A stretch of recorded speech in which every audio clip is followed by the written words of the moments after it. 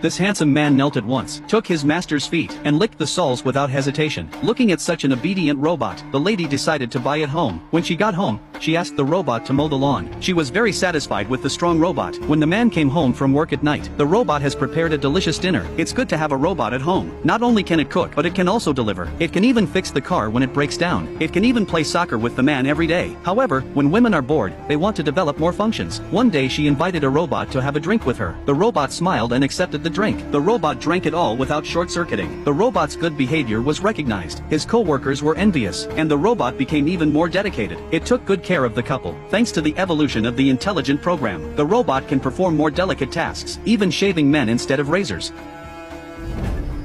And the needs of the lady of the house are even more specific. The robot's skills are exquisite. It can provide a more comfortable massage than an electric chair. As time goes by, the woman's affection for the robot grows, but the husband saw